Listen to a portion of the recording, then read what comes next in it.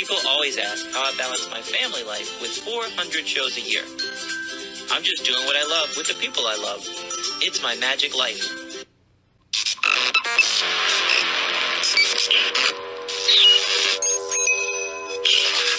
I like Wes Iseli. I like everything about him. All right, today we have another legend in magic. I, you know, I keep throwing that word around, but there's some people that is just on another level. This guy is one of those guys. This guy has a dual personality. We'll get into it later on. Um, he, he's two people in one, and um, they're closer together than he likes to admit. And uh, I love this guy. We've only met a couple times, but uh, I've looked up to this guy for a long time. Everybody, it's John Lovick. What's up, buddy? How are you? Hey, I'm good. How are you? Nice to see you. Hey, we're doing great, man. I'm I'm excited. This could be a fun podcast today. I I so, think uh, I think it will be. That's that's my prediction. This will be a fun podcast. I don't I don't know where to start though. Do I start with your Let's start with your magic career. Where did your magic career start? Well, um my re- magic career started quite reluctantly. I didn't get into magic until very late in life. Uh, I always liked magic when I was very young. Uh, but I grew up in a tiny, tiny, tiny little town in Montana where there was no magic and no magicians and, you know, no way to learn magic other than, you know, read books from the library. So in junior high and high school, I would read magic books and I tried to learn a few card tricks, but that was about it. I, I find it impossible to learn magic completely on your own in isolation. There are a few geniuses in history who have been able to do that, have been able to, you know, learn to do magic almost entirely on on your own. I'm not one of those geniuses. So I just always had an interest in magic, would watch it anytime it was on TV, anytime Johnny Carson had a magician on the show, or holy smokes, when you know Doug Henning's magic specials would come on boy, that was a that was a you know a great day. Um, and then uh, enjoyed it. Uh, uh, went to college.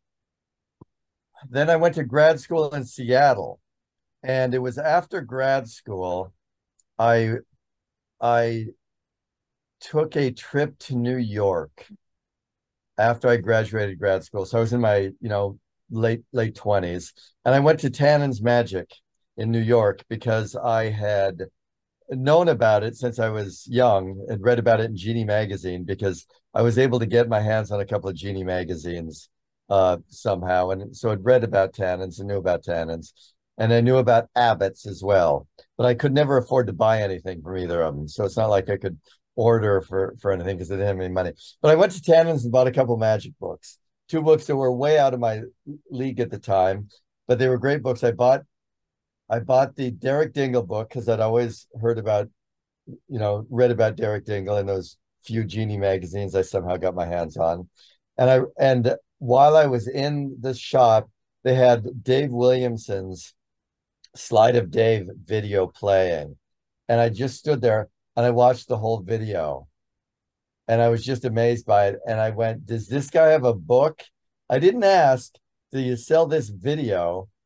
I asked, does this guy have a book? So even then, before I knew that that was the way to go, I knew instinctually that books were the way to go. So I bought the Williamson book and the um, Derek Dingle book and flew back to Seattle where I was living and went to the uh, went to Mickey Hades' magic shop, which which was still in uh, Seattle at the time, and just started buying magic books and met some magicians there and just started hanging out at the shop and going to the monthly meetings at the Doghouse restaurant and just got obsessed with magic and uh, just really plunged in deep. And um, and that that was how I started. And I realized I've been talking nonstop for several minutes, so I, I will pause there. But that that's why it started. Is um, I finally had access to other magicians and to magic shops for the first time in my life. What what other names came out of the Seattle area? I don't know many magicians from that area?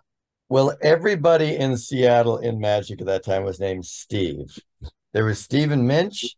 There was Stephen Hobbs, who's written a few books. There was Steve uh, uh, Mayhew, um, who I wrote the Steve Mayhew book a few years back. Uh, uh, Steve Hobbs, Steve Minch, Steve Mayhew. uh, and there were there were uh, Steve Dobson, who lived in Tacoma, which is close to Seattle, very very skilled skilled magician. Um, and then like there were one or two other Steves, but everybody in Seattle's named Steve. But I got to know Steve Hobbs and Steve Mayhew really well. They were way beyond me because they'd been doing magic for for years and years and years, and were both great, um, both very skilled. And and Mayhew actually performed a lot. Steve Hobbs was mostly a hobbyist, and to this day he's a hobbyist, but again, very smart, very skilled, very knowledgeable.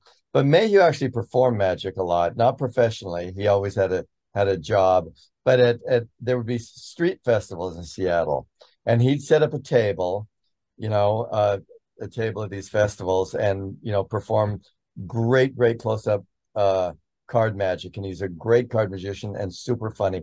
And they were nice enough to let me hang out with them. I had no business hanging out with them, but they sort of took me under their wing, and that was what uh, what you know. They were my first two sort of uh, unofficial mentors. That's awesome, man. That's awesome. So, um, when you when you're working out in Seattle, what did you go to school for to get out I got there? my I got my MFA in theater directing at the University of Washington, the, the School of Drama there. So not journalism, all the books that you've written. I understand the theatrical. I see the theatrical in you, but I thought it might be journalism No, as no. well. Books. No, the So writing the, the writing is what what's Sorry. that? Go ahead. Sorry. Go ahead.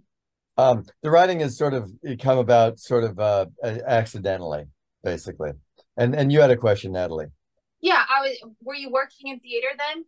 And then, I, yeah, I did. So I stayed in I stayed in Seattle a couple of years after grad school, and uh, uh, did did some theater, direct some plays. Then I moved back to L.A.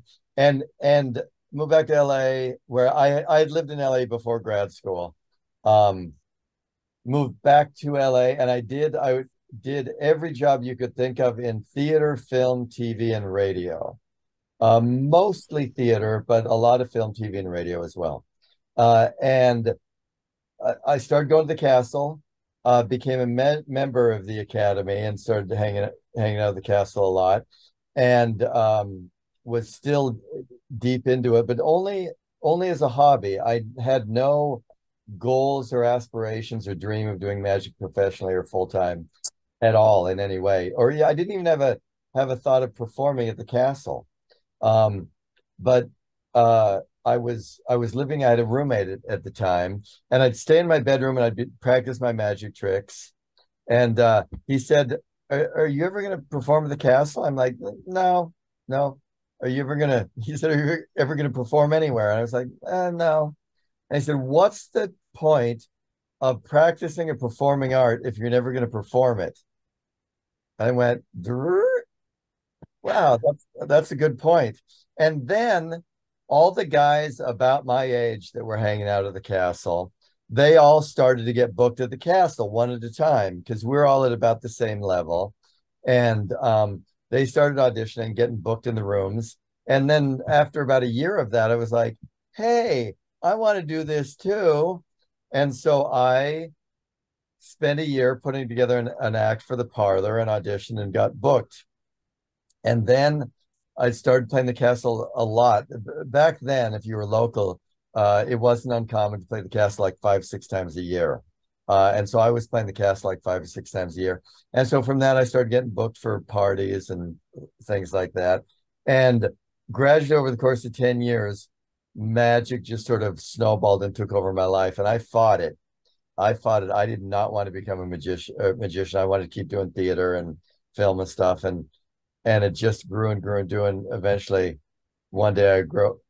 I woke up and I well, I, I guess I'm a magician now. that was the best day of your life, man. You never look back.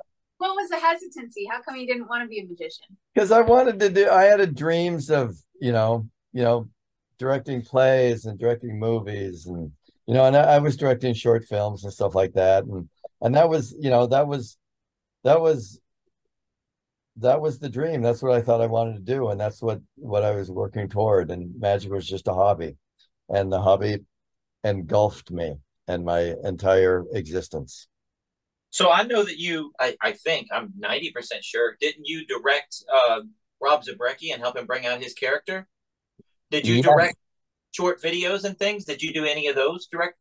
No, not none of the none of the video stuff Rob has, has Okay. done have I had to do with. But I did direct Rob's um uh Rob's stage show that he this was this is going back about 10 years, but for about 18 months he was doing a monthly show at a place here in town called the uh, Steve Allen Theater, which is sort of uh kind of an an alternative uh you know performance space. A lot of great stuff happened there at the Steve Allen. And uh, I directed the show uh, every month for 18 months. And and every month we tweaked the show and uh, you know changed a little bit. But but before that, I gave Rob magic lessons when he first got into magic. Um, and if you had asked me at the time, I would have said, uh, "There's no hope for this guy," because magic it was it was not a fish to water type situation. Let's just put it that way. Um, but uh, he's a great, great performer, and also he he um, got people like me and Max Maven, and he would uh, get advice from us, and he listened to us. You know, if we would, you know, say you should try this or don't do this or or try that, he would try it. You know, and uh, wouldn't it wouldn't always stick or wouldn't always work, but um, you know, he he listened to our advice and worked his butt off every day of his life. He'd get up and work and work and work, and he just slowly, slowly, slowly, because he's a great performer. You know, this uh, he brought out this this great magician deep inside of him. So to this t- day, he technically is not a great magician. You know, technically, uh, he does some sleight of hand. He, he does it well, but he, you know, he he uh, he's like I am, you know, I don't say this is an insult because I, I think it's true of me. He's he's somewhat limited in the in the sleight of hand he can do, and I'm somewhat limited too. I'm not a great card magician. All my all my best friends are, you know, the greatest card magicians in the world. I don't. I'm not up at, up at that level. But Rob, being a great performer and a great personality and uh, having a great persona, has become everybody's favorite magician in LA. And I, uh, you know, and I will take some of the credit for that because I've been there, you know, with him every step of the way. I'm surprised that he didn't take it like a fish to water because seeing the final product, it was like, Oh. oh, it must have been like a glove, and you guys just. I know there's trial and error back putting it together, but it just looks so perfectly and flush. I, I'm surprised that he didn't take like a fish to water. Yeah, yeah. so, no, it, um, it was a long journey. so getting back to you, college, getting to the castle, working the castle. You didn't do the birthday party route. You didn't do what? What gigs did you have starting out? You didn't start naturally. It seems like No, the the that's first like a natural flow in America, Yeah. right? Get The birthday first- party. the first gigs I did were almost all walk around gigs at like uh, uh, private parties and corporate events in LA. You know, LA has a you know a lot of companies and there's a lot of Christmas parties and a lot of you know company retreats and stuff. And so I I, I did mostly walk around, and um, and then occasionally you would get also get hired to do stand up stand up gigs uh, there, and I would do that and I greatly prefer that. I I never I did not like doing walk around much. In fact, at one point I got a gig doing walk around magic at a restaurant one day a week. It was Sunday afternoons. It was a, a an upscale burger joint. Uh, they're a burger joint, but a, a very nice sort of fancy burger joint. And Sundays from something like 10 to 2, I think, uh, during their brunch hour. Uh, uh, I would I would do walk around, and it got to the point that maybe it's no, I think it was only two hours. It wasn't ten to two. It was like it was like noon to two, and doing walk around magic two hours a week was more than I could stand. So after about a year of that, I quit. I'm like I I can't take it anymore. um, wow. but that was it. It was it was it was all corporate magic, and then uh, I started doing more and more of uh, come to a forty five minute stand up show instead of doing doing the walk around. But that was those were the gigs I did, and then and then I started doing magic conventions too, which sort of count as gigs and sort of don't. You know. Well, the pay isn't as good. That's for Yeah. sure. Yeah. So, um, when did when did uh your other persona come in? When did Handsome Jack make his appearance? How long were you in magic career before Yeah. Handsome? Well- Well, that's an that is actually a, a, a very good question and an interesting part of the story because uh, back when I said I saw all my friends getting booked at the castle, I was like, I, I want to do this. I want to play the castle. So I thought I'll take a year to put together an act for the parlor. And at the end of the year, if I think it's good enough, I'll audition. And so I would, I don't know how often, I, I'm going to say once a week, but it was, you know, more likely a couple times a week. I'd go down to the impromptu rooms of the castle and uh, including what they now call the cellar down at the castle. At the time, it was called the museum. Now it's called the cellar. And I'd go down to the cellar and you could gather a crowd and, uh, you know, do a show. You could do, you know, two or three shows a night at the time. And uh, that's how I uh, eventually put the act together. But I began the year thinking that my persona would be sort of a a not incompetent magician, but a magician who wasn't in control of his magic. So a lot of magical stuff would happen, but it wouldn't be the magical things that I intended or that I was in control of. And the example I'll give you is um, like uh, the 11 card trick. Here I've got 11 cards. Oh, wait, there's only 10. I, I need one more. To do, oh, there's only 10. I, I need one more. I, I need one more. That kind of thing where I do something and like, wait, that's not right. What happened? You know, things would like vanish on me and, you know, like, uh, uh, and I, I never did this, but one of the things I was going to work on with this persona was I was going to do a cards across routine. And I said, okay, we need a bridge. You've got you've got some cards, you've got some cards. Now we need a bridge between you two. Let me here, let me tie these two handkerchiefs together, and you each hold on to an end. And I tie the handkerchiefs, and they'd hold on the end, and the knot would dissolve. I go, and the knot would dissolve. And I go, here, you tie a knot. You tie a knot. Okay, now you tie, hold the end, you hold the end, and the knot would di- dissolve. So again, magic's happening, but I'm not, not control. So that was that was the idea of what I was going to do. And um, I put together like six tricks to do like a 20 minute act. And uh, after performing it a few times, I was like, okay, which trick is working the best for me and which trick is is working the least? And I will replace the least the least successful trick with a trick that would go well with the successful trick. And the most successful trick was a win a date with Mr. Magic trick. And it was a trick where I had the game rigged, where I'd, I'd bring a woman up from the audience and she'd win a chance to win a prize. And the prize was a date with Mr. Magic. But I secretly had the game rigged. Uh, and she, she was going to win a date. And then at the end, it would go wrong. Is it like the game was 100% rigged? She's going to win. And then she doesn't win. I'm like, oh. And so once again, it's like, magic happened, but it wasn't magic I intended. And so the audience really responded to that trick for whatever reason. And so I thought, and I was doing this coin trick that wasn't working very well. So I said, okay, I'll stop doing the coin trick. What would work well with the win a day trick? And I came up with something. I don't remember what it was. And I, you know, now I had a slightly new set. And then after a, a month or so, I said, okay, what's the weakest trick now? Let me replace it with that. And over the course of the month, not intentionally. I thought I was going in this direction, this this this slightly nebbishy guy, non closing. And over the course of the you know the year, eventually I was going in the exact opposite direction, and I was handsome Jack, male model magician. And if you had told me at the beginning of that year that I was going to be handsome Jack, male model magician, I would have said you're out of your mind. I would have said there's no way I will do that. That sounds stupid. That is not the kind of thing I would do. That's not my kind of humor or comedy. Absolutely not would I ever in a million years do that. Uh, and that's what I was doing by the end of the year, quite unintentionally. But it was because I was paying attention to what was working for me, paying attention to how the audience was responding, pay attention to it, you know what they liked and what they didn't like, and what worked for me and what didn't work for me. And you know, here I am, you know, 25 years later. I'm handsome Jack. And it's a It's unique so- act. No one else is doing that act. That's that's unique. It's fun. It's funny. We didn't get it in 2008. I've told you this off the air.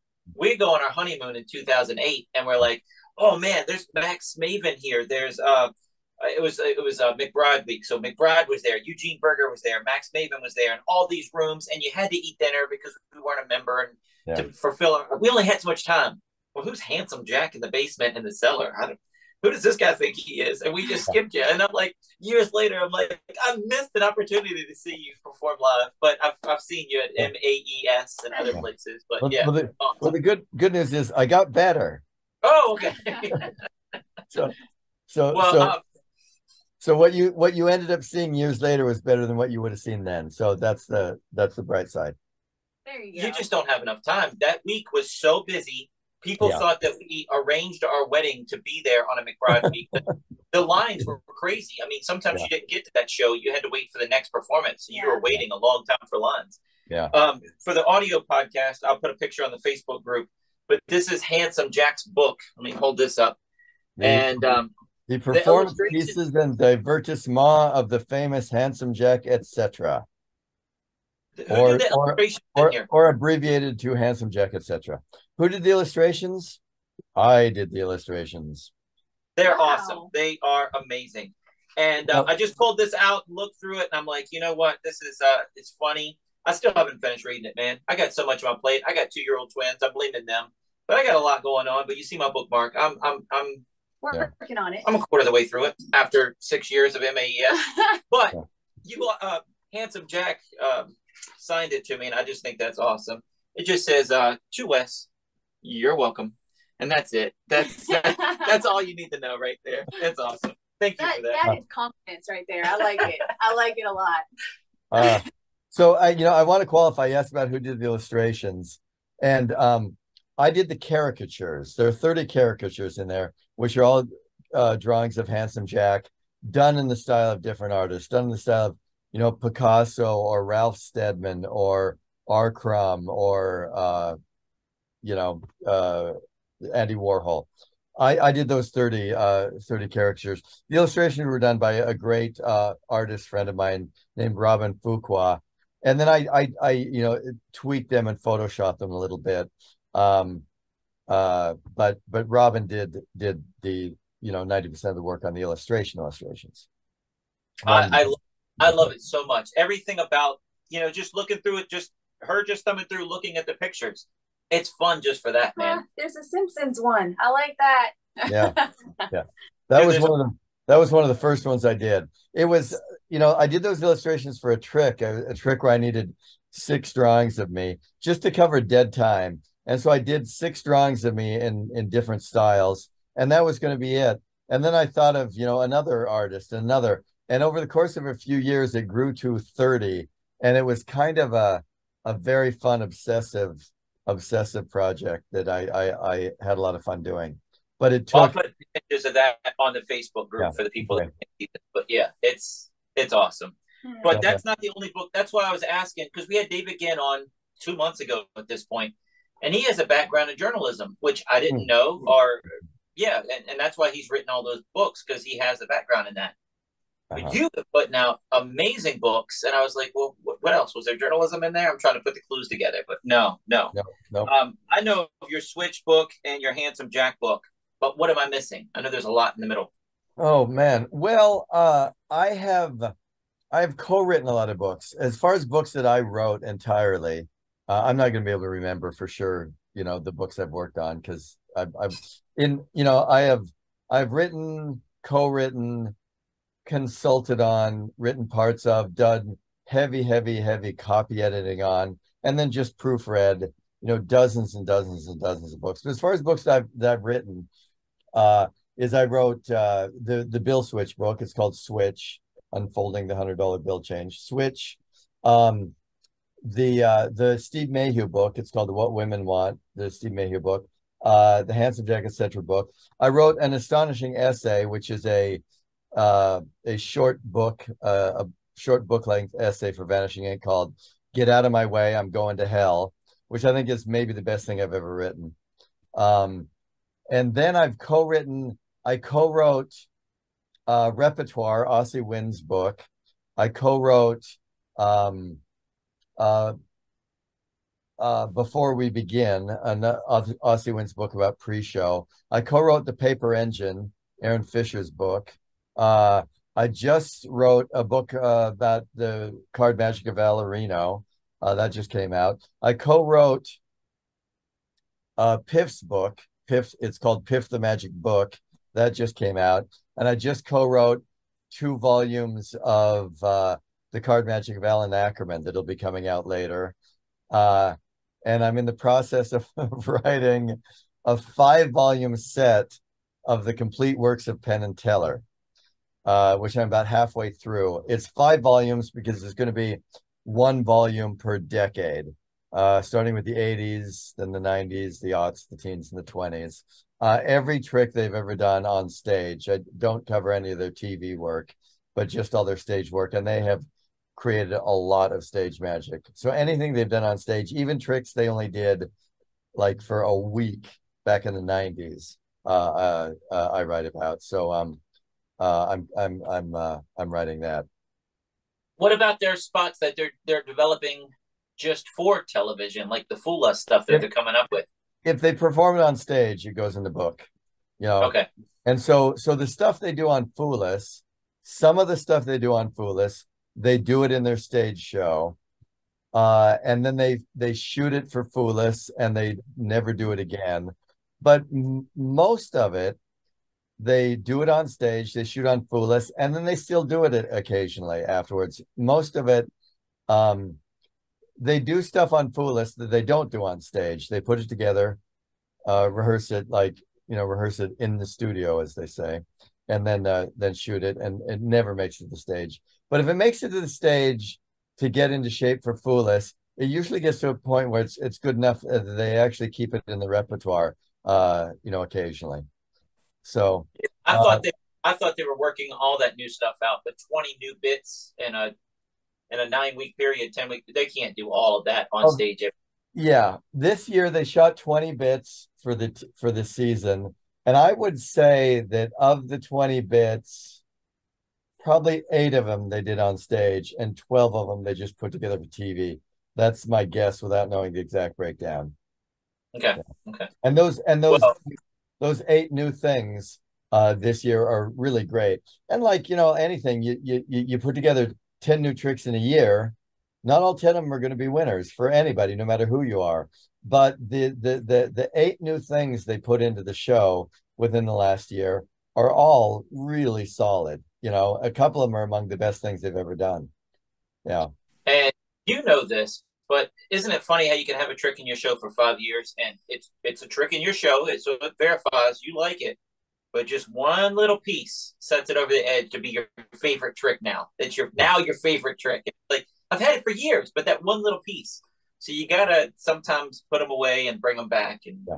do Yeah, different I'm- things like that. I'm I I never stop tweaking my stuff. Uh, things that I've been doing. Uh, in fact, this this uh this Bill Switch routine of Steve Mayhew's, and it's in the Mayhew book. It's also in the Bill Switch book. It's Steve Mayhew's, and for a long time I was the only person in the world doing doing that routine. Um, uh, Steve would maybe do it uh, in uh, if he got hired to do a stand-up show at, at corporate, you know, for a corporate rich, but he didn't do a lot of that work. He mostly did did close-up magic. So even he, the um, you know, inventor of the trick, didn't do it often. But so I've been doing that trick for well over 20 years. I I opened every show with it for you know a good 15 years. Then I stopped doing it for about 10 years, and then I brought it back recently. Uh, you know, just before just before the pandemic, actually started doing it, and I tweaked it. You know, I made two kind of significant changes, and it was great, great, no flaws, but you know, it made it better. I'm ne- never stopped tweaking my stuff. Always. That's awesome. When can we start pre-ordering that book?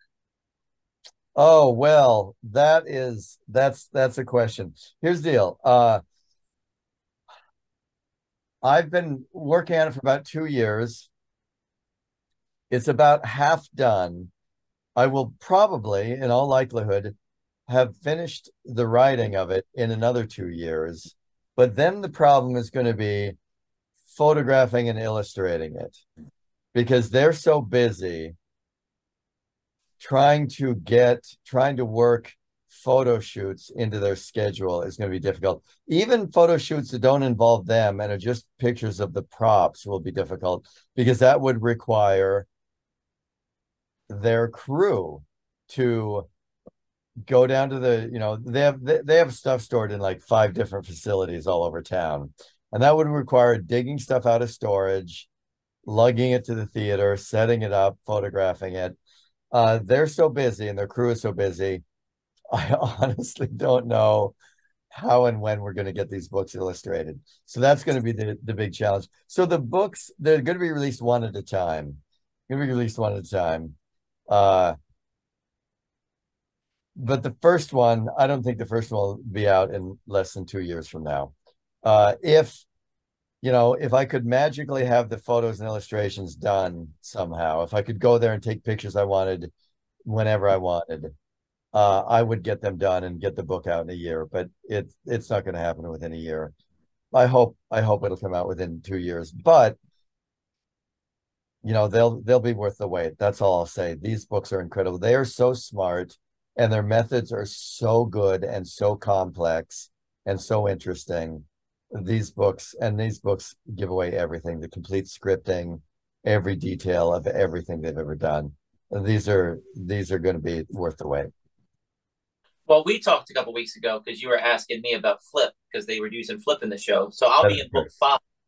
You will so, be in volume five yes. Yeah yeah. So i have to wait how long? 15 years?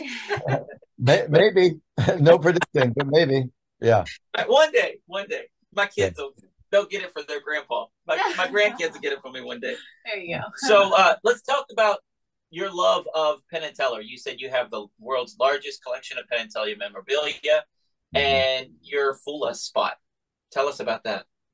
Um, yes. Okay. The collection. So here's, uh, I here's the way it started in 1995.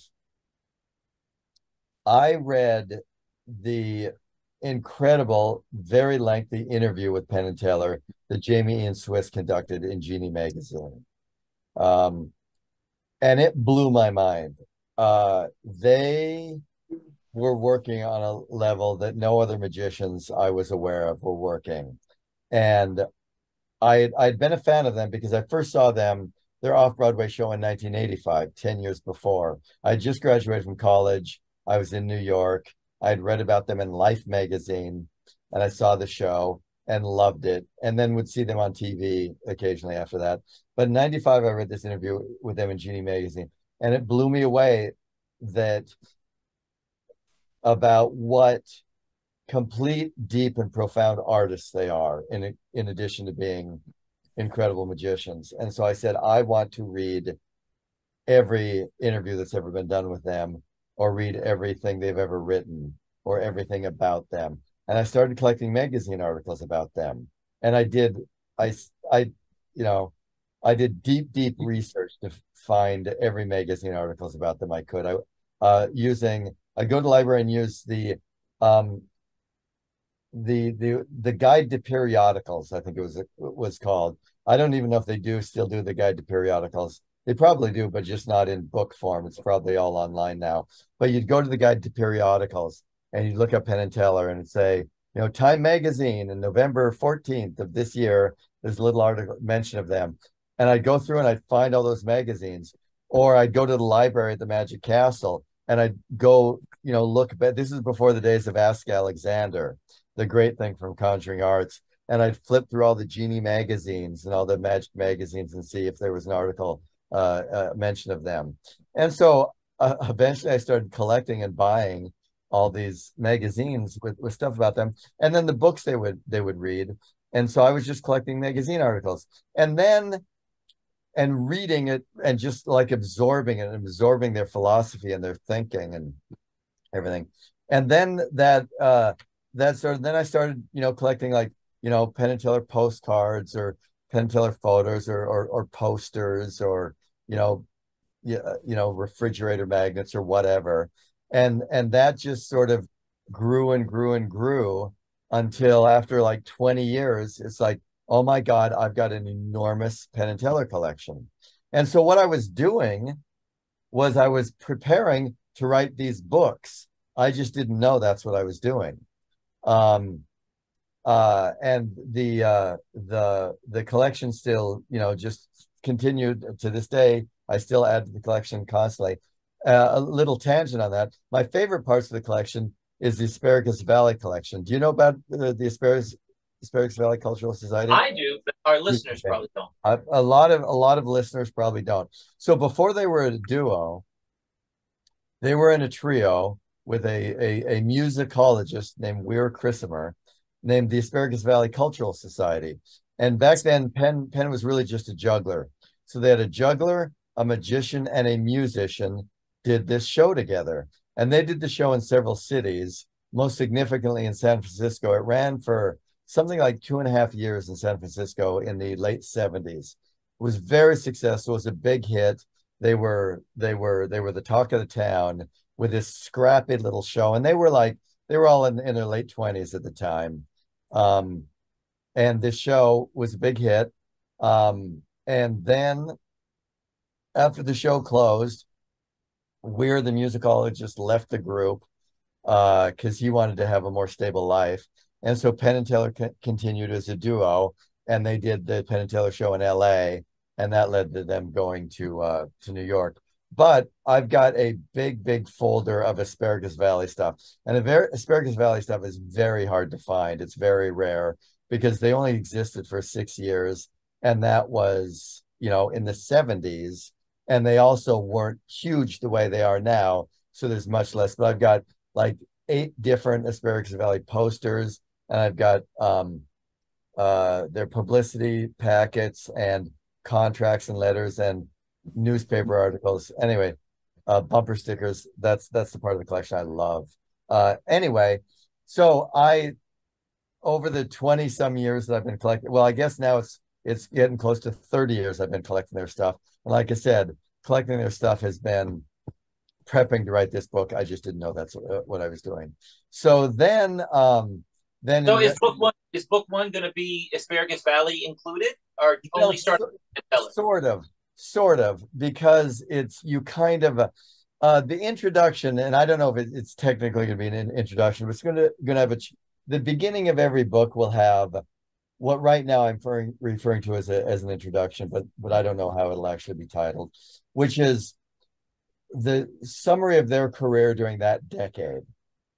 So the 80s is this is or the 90s, for example, be what happened to them in the 90s, what did they do, uh, what you know, what Broadway runs did they do, what TV specials did they do, how was their magic evolving and changing. Uh, every day to do that, but the volume one, which covers Penn and Teller work in the 80s, because the first the first time they worked together as Penn and Teller was, I believe, in 1983. So Penn Penn and Teller as Penn and Teller began in 83. But I write about how they met and their career, and I write about Asparagus Valley uh, in that introduction. Uh, write about Asparagus Valley and the kinds of stuff Asparagus Valley does, and then but the the the material that they do is that I write about in the book is only the Penn and Teller material. But some of the Penn and Teller material uh, is based on Asparagus Valley material. And so there's a lot of Asparagus Valley information in the book, but not explicitly, only if it directly uh, crosses paths with Penn and Teller material. Okay, I was asking because I'm such a huge fan. I want to see asparagus posters. I haven't seen. I wasn't born until '77. Yeah, I didn't get to see those. I would yeah, love to see them. Yeah, yeah. I, I love I, I love my asparagus valley collection. Um, and then you asked about uh, appearing on Fool Us. Um, so here's my here's my, and that was, boy, that must have been eight eight or nine years ago. It must have been about nine years ago now. I, I don't know exactly when it was. But uh, this was the first American season of Fool Us. They had done one season in the UK. And then I think it was about four years later or so that they did the first American season, which which they which is they call season two. But they were like was a four year gap, and it was first American season. And all my friends were getting calls for to be on to be on Fool Us, and and and so I actually worked with several friends of mine. Were like, I'm I'm putting together this thing for Fool Us. Will you work with me? And so I consulted with them and helped them with the thing and uh, rehearsed with them and gave them advice, which is you know something I do for uh, a, a, lot of people. Uh, but and and then so a lot of my friends were going to go on be on Fool Us. I thought ah, it might be fun to be on that show, but I don't know what I would do, and I didn't have that much interest in being on television anyway. So but I felt a little bit like, huh, no one's asking me. And then like the week before shooting started, you know, they contacted me about being on the show. And I was like, yeah, I don't know. Yeah, maybe. L- let me think. And so I tried to think about what I could do that would fool them. And so I put together a couple of tricks. I thought these might fool them.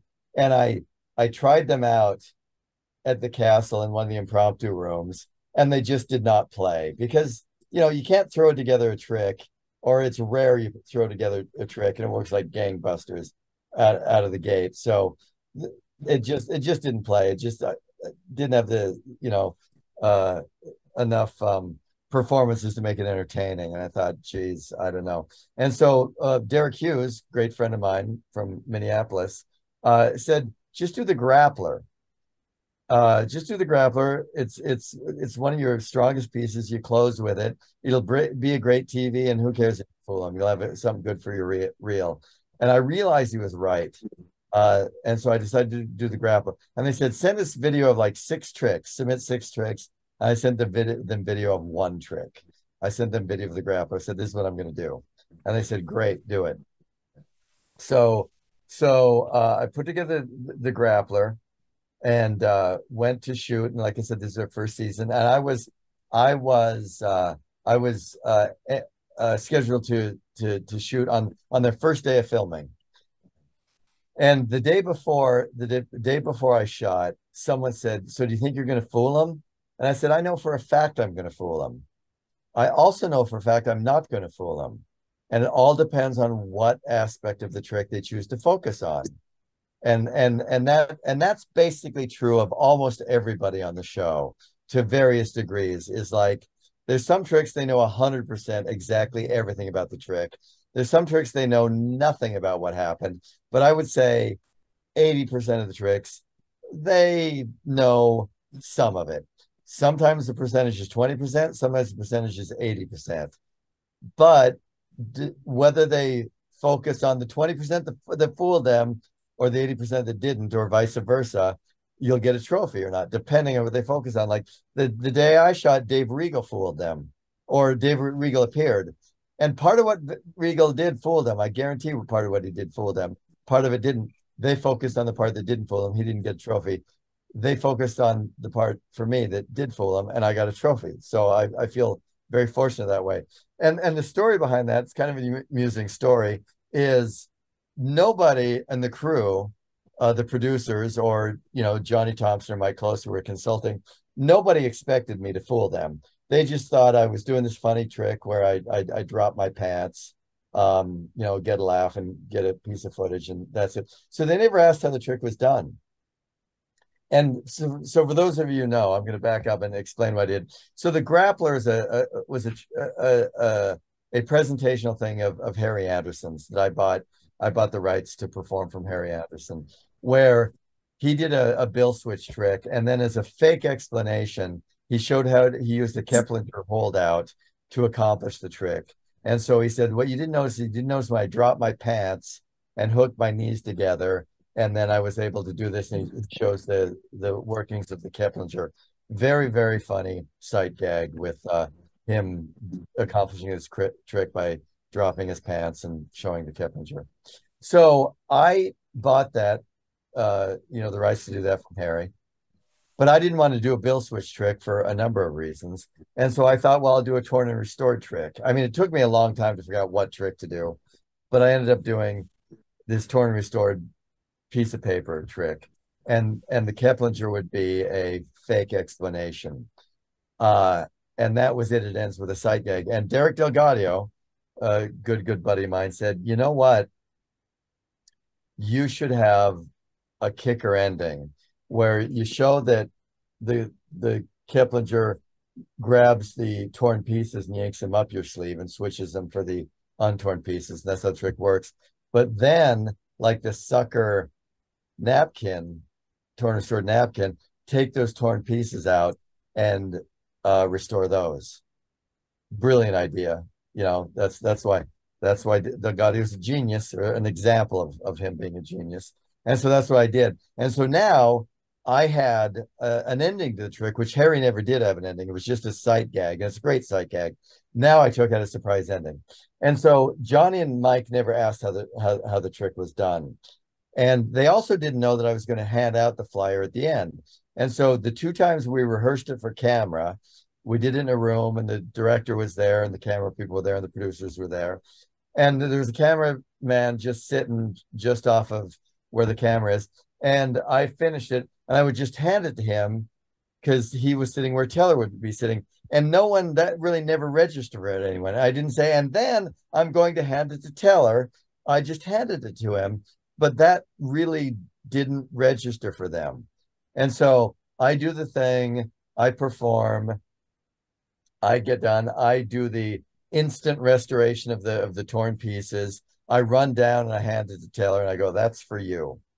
That's for you.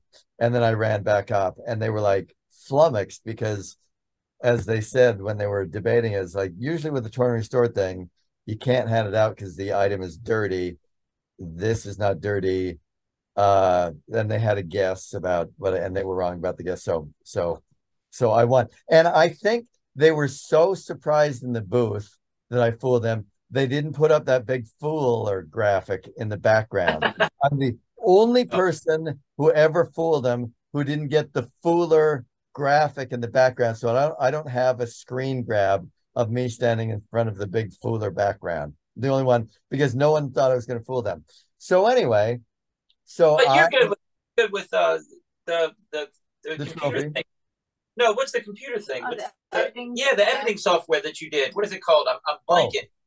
uh, Uh, the editing software yeah. that you did to tweak your photos. What is that called? oh, I, I use Photoshop. Photoshop. You can put Photoshop yourself in front of it. I Can't could. I one I 100% could if I cared enough. Okay, Yeah. okay, all right. There you go. Yeah. There you go. So so so the kicker to the story is Penn and Teller, and I was I I was the last person to shoot that day, and and the only one and the only one to fool them that day, only one to fool them, and the last one to shoot. And they go backstage afterwards, and they go to Johnny and Mike, and they say, "How did Handsome Jack do that?"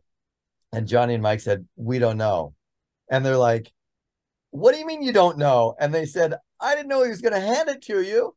And so Teller emailed me. He said, "You fooled us." and uh Johnny and Mike think you did Mike thinks you did this. Johnny thinks you did that. I think they're both wrong. And I emailed back I said yes they're both wrong. And then he said well what did you do? I said well you know I, I gave him a hint. So I, I I stretched this out over three days you know give him hints and so I said you're going to be really upset when I tell you. You're going to be really mad at yourself when I tell you. And so I I emailed him. And the last thing I said was, I fooled you with what I think literally might be the oldest method in magic finger palming. I took those pieces and I finger palmed them. And I said, That's for you. You know, and this hand, this hand had all this, that's for you. I, I finger palmed the pieces. And he loved it. He thought so great to be so sort of elegantly uh, Crazy. and ingeniously fooled by something he should know he loved it. He loved it. Um, and so I was telling a non-magician friend this story about how I said I fooled you with one of the oldest, with maybe the oldest trick of magic, finger palming. And she goes, "What's finger palming?" I said, "Well, it means when you hide something in your hand." And she said, "Well, I don't know a lot about magic, but I've always assumed that sometimes magicians hide things in their hands." And I said, "Yes, that's true. Sometimes they do, and Penn and Teller should know that." Uh, so so that's my story. And so for a long time, when people said, you know, asked, did you fool Penn and Teller? I would say, Penn and Teller, I fooled Johnny and Mike. Yeah, there you go. That's Yeah. awesome. That's a that's a triple quadruple whammy there. That's Yeah. awesome, man. So uh, I got a whole bunch of stuff here. Yeah. What about your real magic interviews? That was the first time I remember seeing Oh boy. you. Did you enjoy doing those? That was fun. Because Well, you took on my role, the interviewer. yes. Um, that was uh, you know, Cosmo, Cosmo who produced those asked me to teach my handling the bill switch on the very first one. And so I did that. He we met somewhere. I think it was at a convention. I don't really remember where we shot it. Uh, and we shot it and I taught the bill switch. And I was kind of not in a great mood and I didn't know that I wanted to do it. And and Cosmo kind of rubbed me the wrong way. And so I was kind of a jerk to him, the way I, I can be. Um, and I was kind of a, a jerk, and I thought, I'll shoot this and whatever. There you go. And then he and then he asked me, Hey, would you interview people for me on this series? Which just I was such a jerk to him. I couldn't believe he asked me to do these interviews. I'm like, sure. And so it just became a thing. Every time there was a convention, he said, ask a couple of people and interview them. And I started doing it. And and I had so much fun doing those. Uh, I interviewed, you know, Mac King and Dave Williamson and Max Maven and Asi Wind and the Buck brothers and Bill Malone and Guy Hollingworth and Zabrecky and you know, I don't know who else. Of George Costanza too, right? Oh, oh yeah, and oh, that's right. That was one of the first ones. Was um, um, uh, Jason Alexander who played, yeah. played George Costanza in Seinfeld. Because I was good friends with Jason at the time. I'm still good friends with him. Uh, uh, but I was I was touring with him at the time. Uh, he had a one one man show, a comedy show that he was doing, and I was his entire tech crew. Uh, and so I was touring with him at the time, and I'm I'm still in touch with him. He's the, that was like ten years ago, but we're, he's just the greatest guy. And so yes, the Jason Alexander that was a great interview. Um, I loved it. Yeah, that was great. Um, so yeah, I just did those for Cosmo, and then I don't know if Cosmo is still doing them, but he's sort of stopped asking me, and yeah, I don't know what the situation was there. I think they're doing everything online. Just pay me yeah. per I'll teach you some tricks, but it's not yeah. really what it used to be. I yeah. like the DVD. I like, I don't know, I'm old school like that. I want to hold the DVD. I want to collect the DVDs. Yeah. If it's a digital download somewhere, I don't know what folder it's in. It doesn't, I don't see it every day, so I forget about it. Yeah, I'm, I'm, I'm, I'm, I'm the same way about that kind of stuff. Yeah. yeah. So, dude, that's uh, we got nine minutes left. Holy smokes, man! I need to learn to talk more concise. Yo, concision, concision. I say, that's what I should so, learn. I saw you at Magic Live, uh, and I'm telling, I'm describing this to Natalie. He was playing with a hunk of cheese and having other men play with a hunk of cheese. Does that sound like fun? No. it was, but it was a really big hunk of cheese. It was a really big, a really big hunk of cheese. Now, right, now what do you think? No. All right, you got to talk about the cheese real quick. Well, what the cheese. Well, the, okay. Uh, most most listeners will know about the Mighty Cheese, uh, which is all, uh, all the non-magician listeners definitely know the Mighty Cheese. Yeah. So so yeah. the Mighty Cheese, in a nutshell, it's it's the trick is 111 years old. It was P.T. Selbit, P.T. Selbit, who was the first person to basically saw a woman in halves. Um, he he invented the first version of uh, and he called his, I think that's what he called his sawing a woman in halves, I think was what he called his. Um, uh, but he invented uh, 10 years, 10 or 11 years before he invented um, uh, the sawing a woman, he invented the mighty cheese, which was a big, it was about, I'd say two feet in diameter. It looked like a big hunk of, uh, like a big wheel of cheese.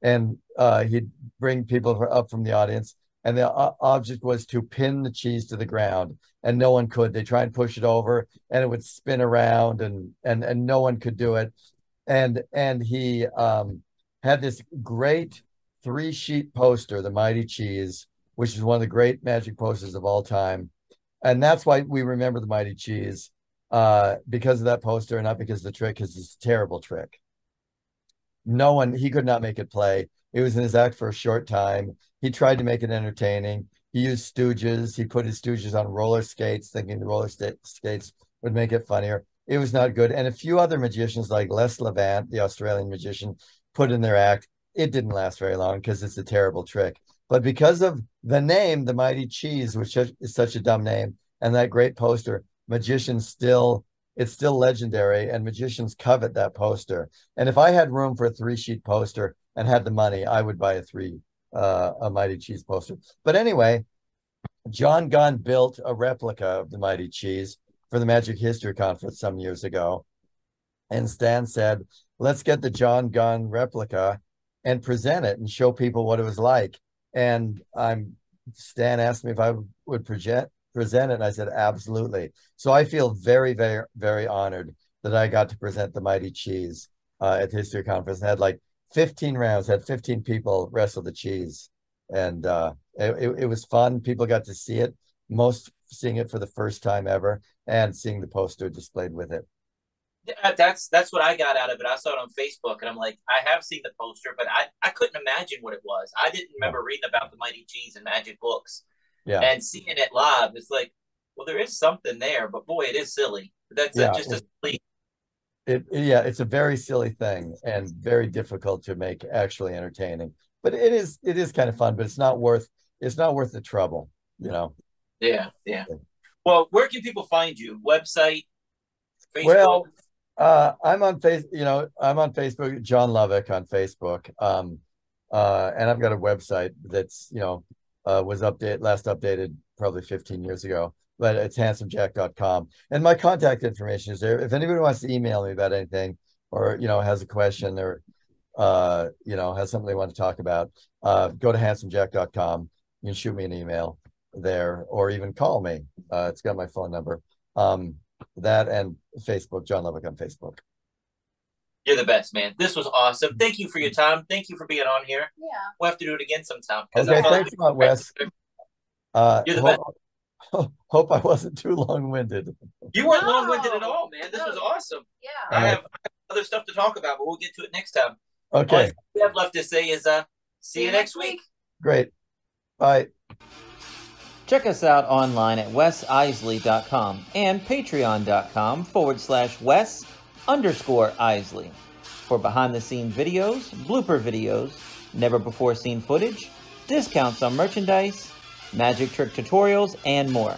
That's Wes Iseli spelled W E S I S E L I.